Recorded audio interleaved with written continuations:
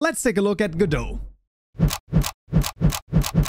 Alright, we find ourselves in Godot this time for the first part of my series where I look at a whole bunch of different engines. Uh, this first episode is going to be Godot and we're going to do multiple episodes on the same engine and we're also going to do other engines in the future. Now, this is supposed to be my first impressions on how this all is going to work and basically how easy I'm going to be able to navigate this, where I try to look at the engine without doing too much research beforehand. So I'm basically going in blind, I'm just trying out some stuff and only really looking up certain things if I can't figure it out in any other way. Hopefully this is going to be interesting to you and let's get started. So this is the first time when I actually opened the Godot engine and it actually asked me to open asset libraries over here. So those would be official examples. I'm going to choose to not do that because, like I said, I want to just fr start fresh without knowing anything. And then just to see if I can find my way around this. This is how I personally like to do it. I just like to play around with it a little bit and then looking at examples at a later date. So let's just make a new project over here. So I navigated to my folder when I select it, and this is going to be uh, let's just do test project. That's going to be fine. We can have different renders over here. Let's take a look. Some only advanced 3D, can scale large complex scenes. Interesting. We also can do mobile, which is less advanced, and then compatibility. We're just going to do forward plus over here, and we'll see. And indeed, Git is the correct one. So let's create an edit. So here we actually are. Okay, so this is this seems pretty nice. I can switch to 2D immediately, which is going to give me a, an interesting view right here. I wonder if I can also show the grid. I can show the grid. Okay, this okay. That, it's actually fine if you go to 100% over here. Then the grid isn't too crazy. If you just zoom out, it just looks like a white blur, but that's okay. Okay, so this is actually pretty fine. So down here is my file system. I got my scene. We can basically switch to different types of scenes, right? I, have heard that nodes is sort of one of those things that's quite important. So this would be the, th the node 3D. My question is, how can I go back to the node that I was already in? Oh, we want to create a root node. I understand. Okay, sorry, it's all good. So I want to create a 2D scene. Okay, that's my that's going to be my scene. Let's just say that's going to be okay. So this is my uh, my 2D scene, and I can now start creating stuff in there, I would assume. Select the resource in the file system to import. All right, let's create, oh, we can just create scripts, resources, text files, folders. Okay, let's just, uh, let's just then create a new resource. Let's see. Oh boy, that's, this is pretty cool. Okay. So we can have like a bunch of different types of resources that we can create. What about a sprite? How can I get a sprite in sprite frames? Okay, that's definitely not what I was imagining. All right, let's just, I'm just going to try the following. I have a little sprite that I wanted to use. I'm just going to see what happens if I drag it in. So I can definitely add it. So there you go. So there is my 2D sprite added. Okay, that's pretty cool. We got a texture 2D. So far, this is very intuitive. So I, I'm not I'm feeling pretty good about this. What if I just drag it into the scene? Well, there you go. It actually adds it. That's pretty awesome. Okay, now this is not in um, the rendering mode I'm not a fan of. So let's actually take a look at whether or not I can, I can change that. Mode detect. No, that should be okay. Let's just continue how it looks right now. So like I said, this is definitely not a tutorial in the exact sense, right? This is sort of a, okay, I'm just discovering things uh, here live, so to speak. Uh, but let's take a look. So now I would like to just add a script to it. So let's just make a new folder over here. I'm going to call this scripts and I'm going to create a new script. We're going to just, we're just going to try this. This is a GD script, but I'm, yeah, we can also choose the C sharp language because that is a thing that you can do. So let's just try to do this as a player movement. It did say that, well, usually I'm going to put this in uppercase. No, that's fine. There's no class name. Let's just create it. Failed to create C sharp project. All right, that's, uh, I guess that's something. Let's double click that. What's going to happen? Okay, so we are in the partial class right here and we get the two methods. So we get the ready method and the process method. So this seems, this is actually, I'm gonna be real. I, I because I'm coming in here completely blind, this feels very intuitive for me. This is the start method and this would be the update method, right? Once again, I'm speaking in Unity terms because I'm I'm imagining that hopefully you watching and then also myself were coming from Unity. So this would be the well the thing we're thinking about. Uh, what happens if I start typing in? Okay, so because the um because the okay this is a resource. So this is going to be the scene. Okay, we're going to want to yeah we want to save the scene. That's fine. Uh, so the question here comes in at um, whether or not this is actually properly imported because it just told me that the C Sharp project was not properly created. So this might be the case that there's no IntelliSense or like no, nothing basically happening. So I, I wouldn't even know what to do. Oh, so this would be the case. So there you go. .NET SDKs, no SDKs found. Well, that's probably going to be why. Well, that's a little awkward. Well, for the purposes of this video, we're then just going to try to do this in the Godot script over here in the other scripting language. So instead of C Sharp, we're going to do this in GD script. And then in the second video, we're just going to try this in C Sharp after that. So that's going to be the player.gd. And this hopefully should add no issues over here. There you go. So the general idea here is probably the same, right? Well, it is, however, this time I'm getting some suggestions, so that's pretty good over here. So let's see if I can somehow get the output over here. So this would be, I would imagine it's like an output class or something like that. Animation output, mm, maybe a console or a console or a write line, a line, linear line edit. Print debug. Hello. Save this and let's play. I want to select the current scene as a debug project.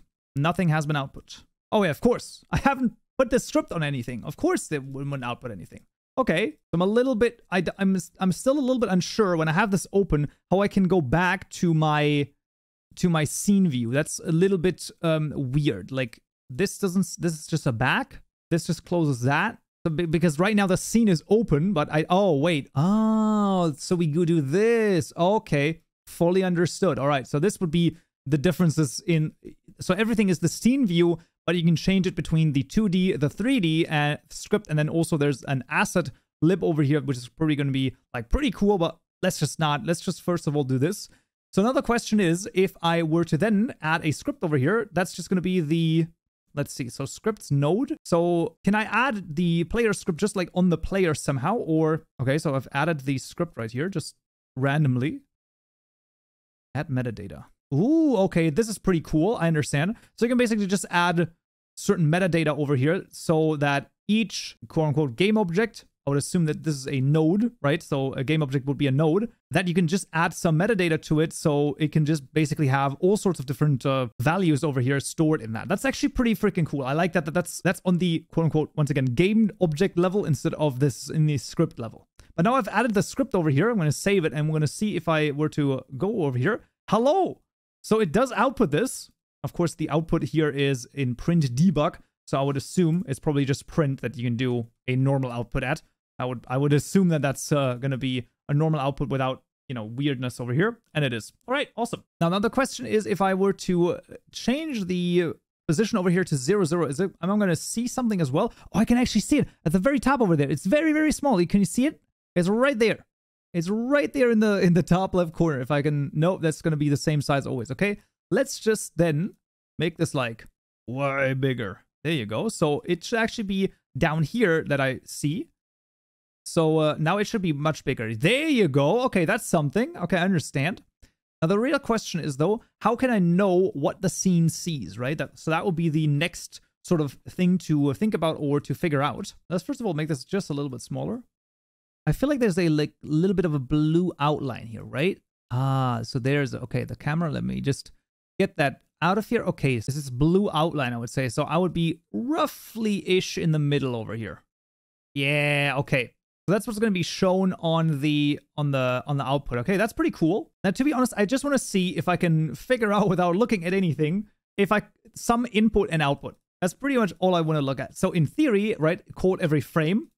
Fair enough.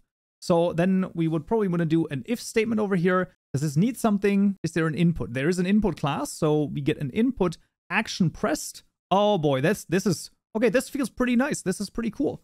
And we get some suggestions over here. So this is all UI. So I don't think that that's quite what I want then. Key, we probably want to be key. Is key pressed? And then we get all of these keys. So then we can say key and let's do a W. How about that? So if key is pressed, and then this is probably an indent language, right? I'm pretty sure that I'm not going to need quotation, uh, curly brackets rather, and then maybe just print something out. Let's, how about that? How, how about we just try that? Okay, so that doesn't quite do it. Um, if input expected a colon after. Ah, there we go. All right. That's, that's how you do it. All right. Okay. I feel pretty good about that. So now if I press W, hello should be output in the in the scene and it is. So i can just hold it and it's getting output constantly. Okay this is really cool. So far i'm i'm liking this. I i like the this is actually fairly similar all things considered. My absolute first impressions is this is this is going to be absolutely awesome. I can probably reference the node right? So i can probably reference myself right? So this would be node and then the w the dot would probably reference the quote unquote game object or the node that I am attached to. So now the question is, what is the transform called? If I were to do this, this is the, it's not the offset actually, it is the, it is a transform. So this would be a node 2D. How else can I reference uh, self? That makes actually, that, that actually, you know what? That actually makes a lot of sense. And then let's see, is there like a transform? There is not. Is there a position? Uh, it might be uppercase actually. There is no, does not seem like that is the case. Child, get child of index? No, that's not right. It doesn't give me an error, so I'm not, I'm unsure if you can just go like inside of that like that. Uh, plus equals five. All right, I mean, what the heck? Let's just see. Um, no. Invalid index position based on transform 2D. So he does get the transform 2D by saying self.transform. It's a bit of a shame that I, I, I I'm not getting that as a as a um suggestion right here.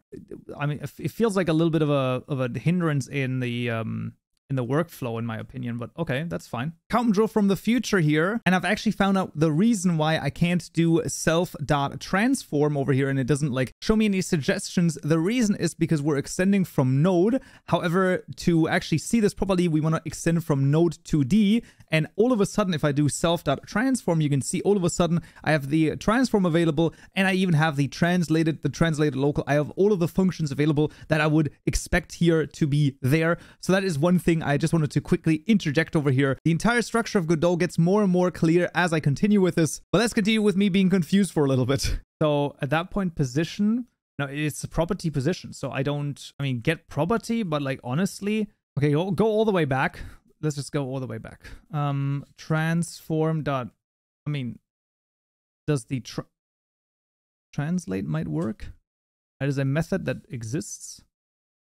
Uh, vector 3 dot um no vector wait is this so vector 3 dot new no dot 1 dot up oh it does work actually no way that is this going to work that would be crazy it does not non-existent function translate um it might be called translate with an uppercase T. It is not. I mean, listen, okay, it was worth a try in my opinion. Okay, so I looked it up because I can I can wander in front of a wall for an hour, but it apparently is called translated and it needs a vector 2 over here, so we can use vector 2 that up. And now, well, nothing is happening. Now, my theory on this is probably that this just returns a the transform.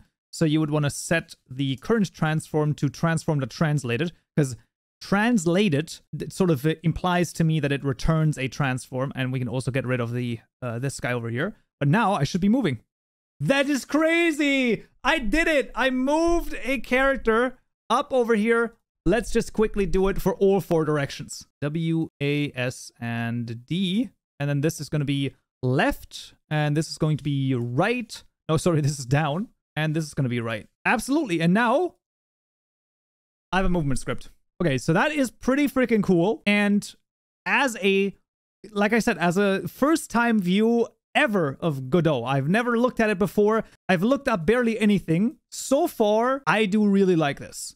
Um, one thing that's kind of weird is that these, when I do self dot, right, it doesn't give me the transform as a possible option which is a little bit of I don't know quite how how to how to do that, how to feel about that. And also when the, I do have the transform, it doesn't give me any suggestions for the functions that are basically like available on that particular uh, part of the node.